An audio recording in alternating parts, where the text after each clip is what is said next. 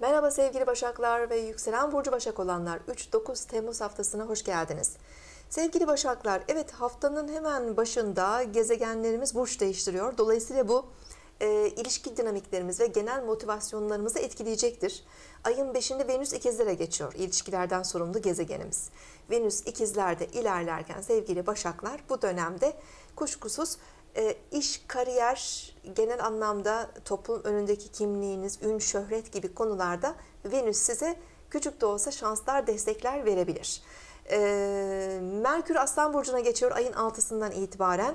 Merkür 12. evinizde olacak. Biraz daha böyle ruhsal ve spiritüel konulardaki e, eğilimleri arttırırken kişisel yaratıcılığınızı da besleyecektir.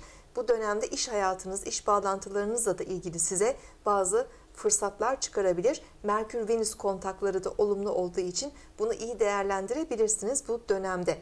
E, hafta sonunda Oğlak Burcu'nda Dolunay var. Ayın 9'unda Pazar günü meydana gelecek. 3 e, gün öncesi, 3 gün sonrası da tabii ki yoğun olarak etkili olabilir. Oğlak dolunayları genel olarak sizi olumlu etkileyen dolunaylardır. Ancak bu dolunay genel bünyesinde Plüto ve Mars enerjisi de taşıdığı için biraz stres de barındırıyor.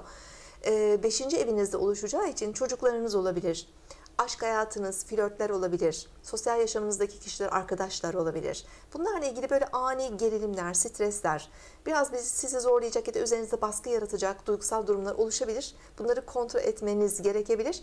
Daha sakin, daha sağduyulu, daha mantıklı hareket edilmesi gereken bir dönem. Aynı zamanda da parasal ve finansal konularda risk alınmaması gereken bir dönem. Yani şans evlerinizde oluyor. Şansınıza fazla güvenip risk alabilirsiniz. Bu da bazı e, durumlarda sizi zorlayabilir. Ona da dikkat etmekte fayda var. Önümüzdeki hafta görüşmek üzere. Hoşçakalın.